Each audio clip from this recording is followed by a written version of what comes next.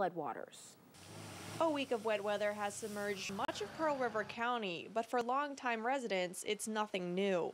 Yeah, this is something that we have to deal with. I mean, actually, they um they repaired it to where you know it wouldn't flood as bad, but I mean, it's been raining all week, so. Parts of Liberty Road like this are still impassable for most vehicles, but it didn't stop some locals from having fun or for trying. Oh, it's, it's been a lot worse than this before. But while some were enjoying the water, others were not. Right. you can see, this is my yard. Dyson recently moved to this old church on Holden Road in Poplarville.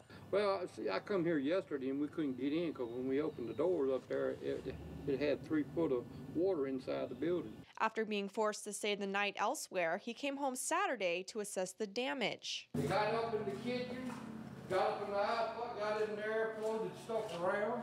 Water come all the way up to that line there.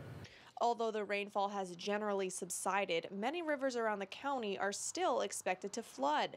The Pearl River is about one foot above flood, but is expected to reach five feet or more above flood when it crests on Tuesday. So, unfortunately for Dyson and many others, the worst may be yet to come. Reporting in Pearl River County, Bess Casserleigh, WLOX, News Now.